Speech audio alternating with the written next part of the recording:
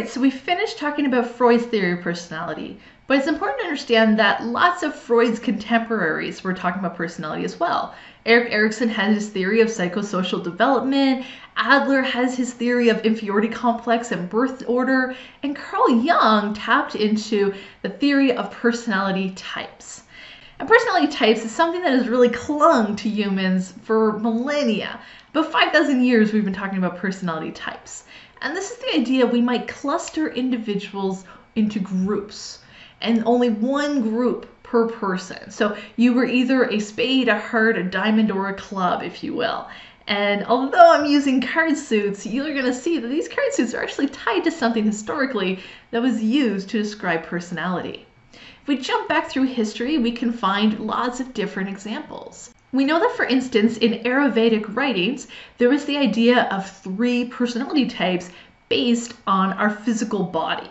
And it was the idea that really slim individuals with dry skin, they were going to be taller and thinner and, and considered full of vata. And this was going to make them more anxious versus more heavy-set individuals known as kapha were people that were more prone to things like depression and sadness. Versus individuals who were a bit medium build or more muscular build pitta they were more going to be more oily and maybe have some acid reflux and there might be some health issues connected with each one of these three personalities we also know that as far back as ancient Egypt, we talked about the four humors. And a Greek philosopher by the name of Hippocrates actually tied these four humors to some personality traits. And it was thought that if your body had too much or too little of either yellow bile, black bile, blood, or phlegm, this could make your personality traits out of order. And so it was thought that we could consider people into these four clusters. This stayed with us through most of medieval medicine, and we used leeches to drain different components to help balance out a person's personality.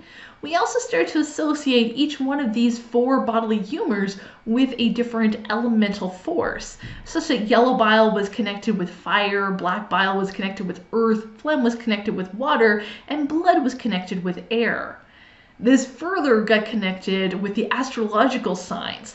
For instance, you might know what the fire signs of Aries, Leo, and Sagittarius, or the air signs of Gemini, Libra, and Aquarius, or the earth signs of Taurus, Virgo, and Capricorn, or the water signs of Cancer, Scorpio, or Pisces.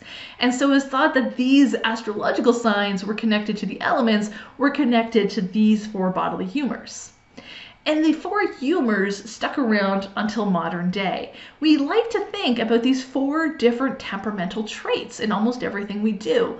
And today, still in pop culture, when we go to create a television show or a movie, we often think about these four different personality forms. One of my very favorite pop culture references that follows the four humors is, of course, a little cartoon show about four brothers who are turtles whose personalities fall neatly into these four categories. But there's lots of pop culture references where there's four characters have these four corners of personality identified.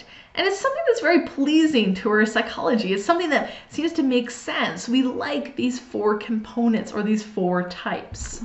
Now, one of Freud's followers who also really liked these four types was, of course, Carl Jung.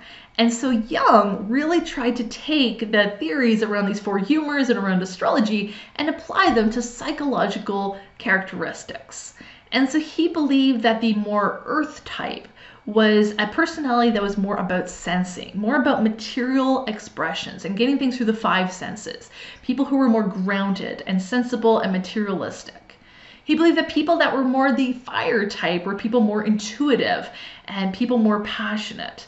And he believed that people that were more water type were more emotional, more feeling, and the people more air type were more cerebral or more thinking.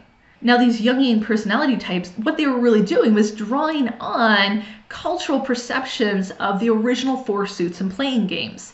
When we think about the spade, the heart, the diamond, and the club, those originally were things like the pentacle, the wand, the cup, and the sword in tarot cards, which represented the sensing, intuitive, feeling, and thinking suits.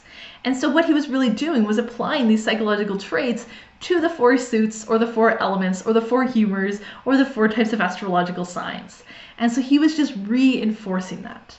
This is why these four elements are so pervasive today, not just in cartoons about Ninja Turtles, but one of my other most favorite cartoons about Avatar The Last Airbender and how balancing out these four attributes is so beneficial. It's Jungian mythology.